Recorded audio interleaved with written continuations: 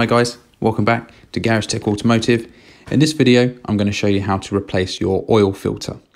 This will be the same or very similar process to most of the Volkswagen Group 2 litre diesel engines on the Volkswagen Audis, Seats and Skodas. So the first thing you need to do is remove your engine cover, like so. And then the oil filter is housed down in this area down here, so you can just about see it through there.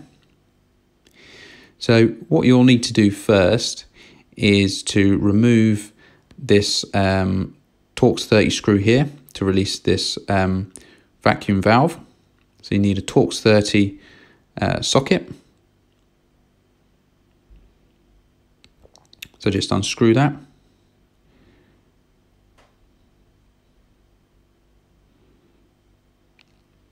And then just fold it out the way. Just be quite careful because they are plastic pipes and you don't want to break them or damage them. So you can see the oil filters down there now.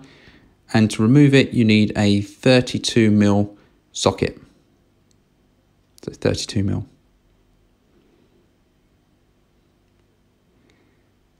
It shouldn't be too tight.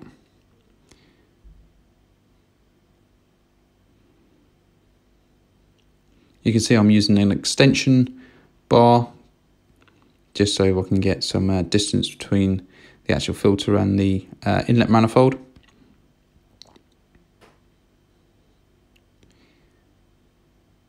And then you can unscrew it by hand. You might just need to move this coolant pipe slightly out the way just to help you get it out.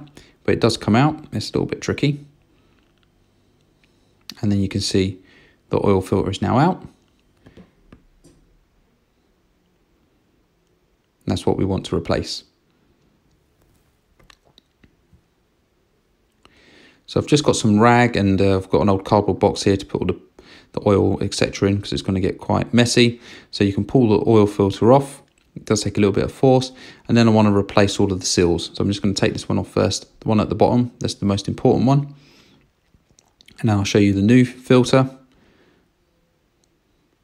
So here I'm just using a Bosch uh, filter in this example. I'll show you the part number for this particular uh, filter. You can get these from most um, motor factors. So it comes with all the seals and the actual filter. I'll just open it up and replace that bottom seal first. That's the easiest one.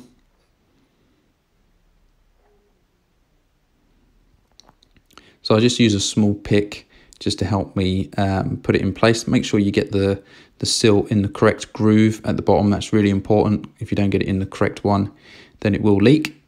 And then I'm just putting a small film of oil around the seal. So then when we screw it back in, it doesn't catch or grab the seal and damage it. So just check to make sure it's in the right place. And then I'll replace the top seal. So there's two at the top. They are sometimes quite tricky to get out, so use a small pick. Just be careful not to damage um, the actual plastic.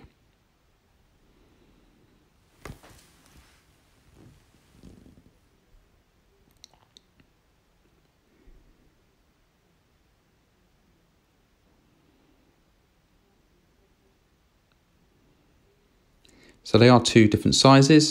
So there's a smaller one and a larger one. So the larger one's at the bottom, the smaller one's at the top.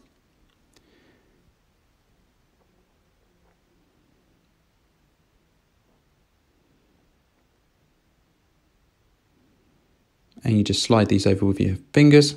Obviously, it's best to wear gloves whilst doing this to stop all the oil getting on your hands.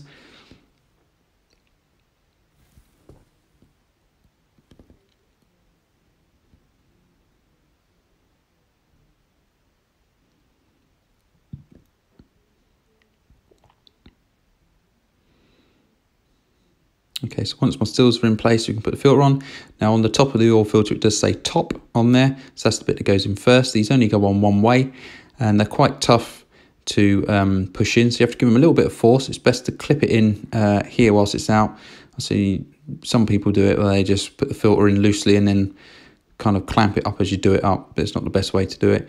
Um, as again, just make sure there's a small film of oil around the seal and then you can screw it in by hand and then tighten it up with uh, your ratchet.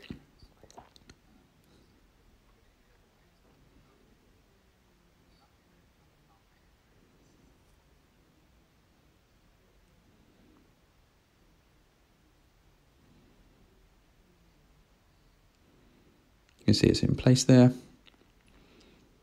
And then I'll just tighten it up with my socket and the ratchet. Now these don't need to be mega tight. It's only 25 Newton meters, which is not a lot so you don't really, you really don't need to over tighten it.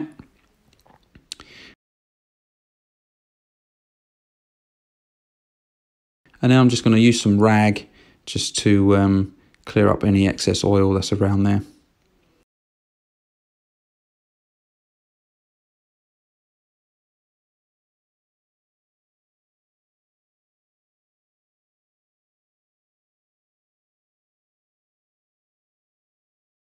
Once that's cleaned up, we can put the valve back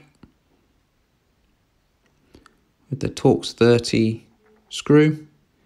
Again, you don't need to tighten this up mega tight. Just nip it up.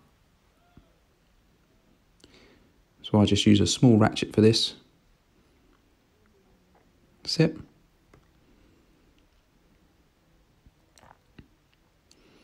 And you can move all of your parts out the way and then you can put the engine cover back.